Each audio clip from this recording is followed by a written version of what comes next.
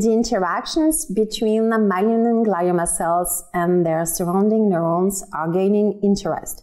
Here we show the development of an in vitro model co-culturing derived cortical glutamatergic neurons and tumor cells.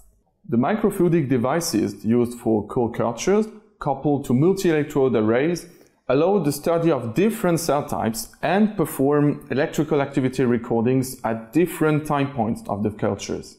This method is particularly helpful for functional and mechanistic studies and for analyzing the effects of pharmacological agents that block pediatric high-grade glioma cell migration and interaction with neurons. To begin culturing the commercialized human iPS-derived cortical glutamatergic neurons, empty the inlet and outlet reservoirs of the microfluidic device by pipette aspiration, letting only the device channels be filled with medium.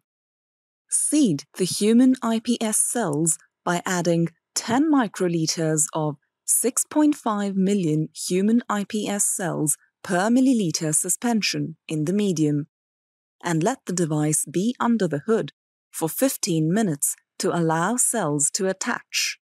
After 15 minutes, fill both inlet and outlet reservoirs with 50 microliters of day 4 culture medium.